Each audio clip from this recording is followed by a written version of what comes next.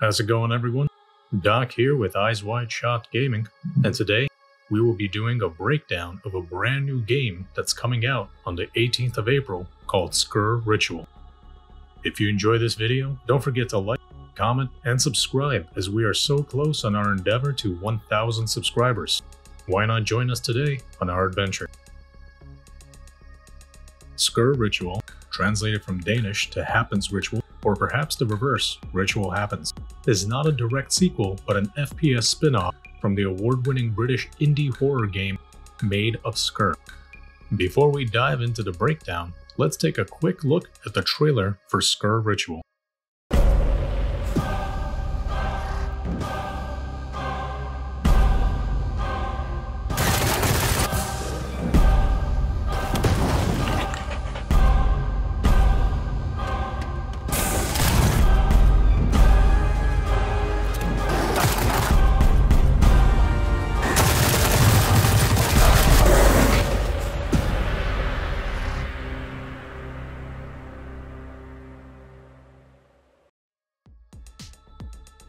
Sker Ritual is an old school round based FPS action game which story continues from Maid of Sker Evil ending.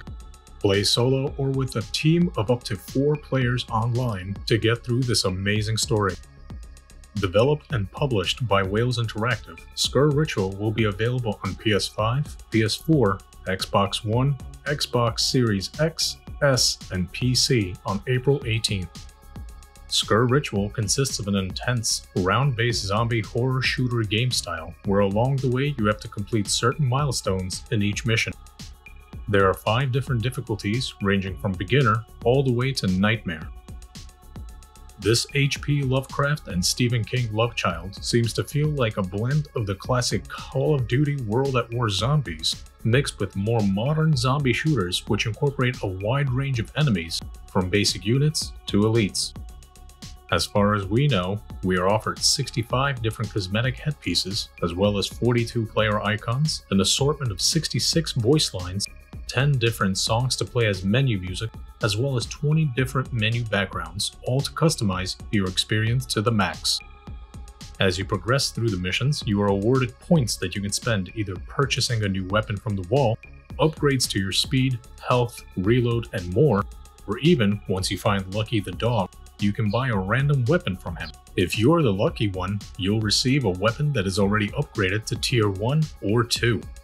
Along with these awarded points, you also receive something called Miracle Points. These points allow you to customize your playstyle with 8 different miracle trees, each consisting of 4 tiers, and each tier breaking down to anywhere from 1 to 5 different miracles. This is what truly incorporates a roguelite element to Sker Ritual. The gunplay is reminiscent of predominantly every single old school shooter we know and love nostalgically, and the gameplay itself is smooth with a comfortable breakdown of what to do and where to go during each mission. Are there jump scares? Not that we have seen, but we wouldn't put it past Wales Interactive to not omit them from the game. As we engage what look to be cultist zombies, some of which have elemental abilities and others are your basic foot soldiers we find notes to give us clues that we piece together for the whole story of what's going on. Once we get to a certain point in the game, we begin to encounter elites, such as Abraham and the Sword. These elites look like Slenderman if he was part of the cast of Peaky Blinders, but with our trusty weapons by our side, we know we will be okay. Throughout the mission, the deeper we go, the more unsettling and spooky the story gets from ritual sites stained with blood to laboratories shooting electric sparks to give us a sense of human experimentation being done. Sker Ritual is filled with nostalgic aspects, from a mystery box, which is Lucky the dog, to a pack punch type machine, bringing us back a decade or so to those nights filled slaying zombies with our backs against a wall and our friends by our side.